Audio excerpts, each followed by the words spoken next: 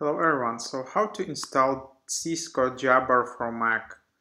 So yeah, I will just show you how to do it. So just Google Cisco Jabber and you need to be on this page, Cisco Jabber page.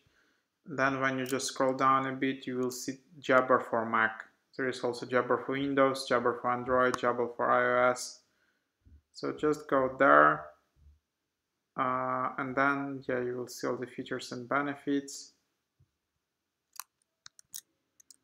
But then actually I would just go to this software.cisco.com slash download homepage and then I would just search it here because I think that's the easier option.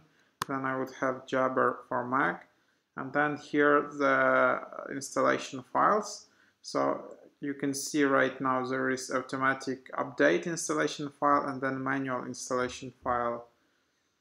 So uh, let's try this one. Uh, and then uh, to yeah to download this software you will need to log in and have a valid, valid service contract. Uh, so yeah uh, since this is kind of like enterprise software. So you need first to like purchase it and it's not that you can just uh, click and enter a credit card. You need to agree on a deal with their sales team. So basically back on this page when you have Cisco Jabber for Mac, just press contact us and you will be redirected to the form to contact our sales. And then you, you can discuss pricing and stuff, you can get license and after that you'll be able to download the Cisco Jabber from the download page.